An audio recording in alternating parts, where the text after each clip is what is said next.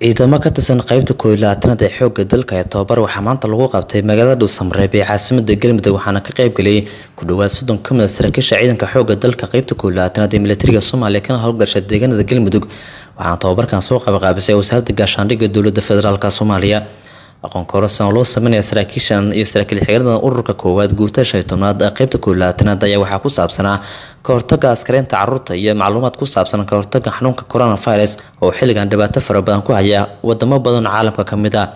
Ciise cali caliyow agaasimaha waaxda ka hortaga askareynta carruurta ee wasaaradda gaashaandhigga dowladda federaalk soomaaliya oo tobabarkan furay ayaa waxaa muujiyay inay muhiim ay yihiin tobabarada noocan oo kale ah sahlayna in ciidanka ay bartaan habka loola dhaqmo carruurta lagu qabto dagaalada iyo si laga hortagi lahaa askarinta carruurta waxaana xusay in hogaanka caafimaadka iyo hogaanka ciidanka xoogga dalka ay ka qayb noqdaan tobabarada oo ciidamada lagu barayo sidii laga hortagi lahaa xanuunka coronavirus.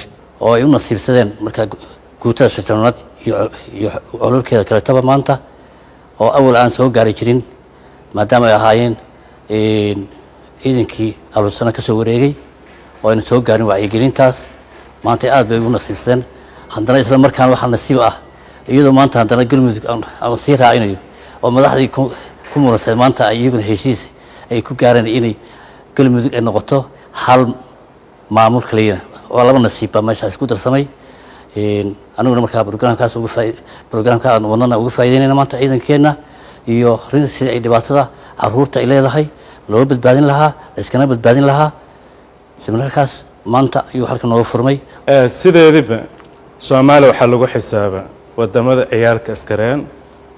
Laakiin waxaan rajeynaya in soomaaliya mardhow ka baxdo waddamada carruurta askareen. Annaga markii hore ahayn grade a levelkeena hadda grade a oo ka soo baxnay grade b marayna. Waxaan samaynay isbuuci la soo dhaafay kormeer. Aan ku samaynay meelo badan xerooyin tababar ciidan oo ciidanka xoog dalka soomaaliyeed kuma arkin wax under eighteen ama carruur ah. Taasoo ku tusaysa in maanta ciidankeeni horumar fiican gaareen oo ah in la askareyn carruur. Qaar ka mid a saraakiisha ka qaybgalay tobabarkan waxay goobta ay ka sheegeen ku faraxsan yihiin inay qayb ay ka noqdo siminaarkan iyo sida looga hortegi lahaa askarinta carruurta iyo sida wax laga qaban lahaa ama loo yareyn lahaa khatarta cudurka coronavirus oo xilligan dunida farabadan ku haya. Waxaa meeshaan casuumaadan sharafta leh seminaarkan saraakiisha guutada shan iyo tobnaad iyo ururkeeda guutada shan iyo tobnaad iyo ciidanka guutada shan iyo tobnaad iyo ururkeeda. Meeshaan seminaar lagu qabanhayaa seminaarkaasoo ah ka hortagga carruurta askareynta carruurta daayartaa iyo cudurkan dhibka badan ee caalamka wareershay ee la dhaho covid nineteen ayaa seminaarkaas waxaa noo qabanahaya